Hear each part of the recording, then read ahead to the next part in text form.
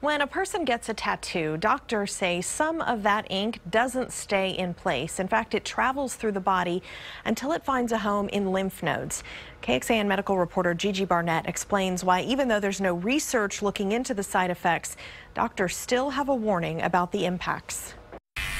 About 20 years ago, Mark Hamrick got a tattoo. I met a girl and she uh, inspired me to get a tattoo because I was trying to impress her. The relationship didn't work out. Neither did the hawk, dragon, scorpion design. So Hamrick burned it off and went back for laser treatment. This little charge would charge and zzz, and then uh, and go through each part of the tattoo doing that. You know, that was extremely painful and uh, I never wanted to do that ever again. It worked, getting rid of the ink on the skin surface.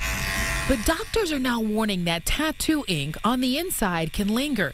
That's because the tattoo needle reaches deep beyond the skin surface, so the image doesn't fade.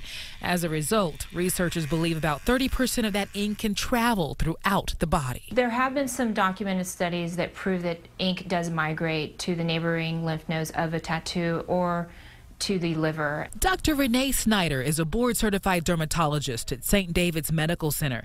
She says migrating ink could cause a problem for patients battling certain illnesses with unexpected discoloration in those glands and organs. The pigment from the tattoo will be in the lymph node and as a clinician, if you don't know that there's a tattoo there, you think it's the cancer and then you cut more skin out than you need to. Snyder suggests patients tell doctors about all of their tattoos, especially the ones that are close to lymph nodes.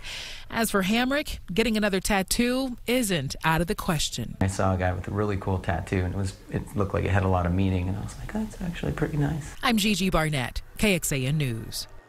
KXAN reached out to about a dozen tattoo parlors and ink supply businesses. We wanted to know just how safe the ink is and which inks can pose a problem for customers. None agreed to discuss this issue on camera.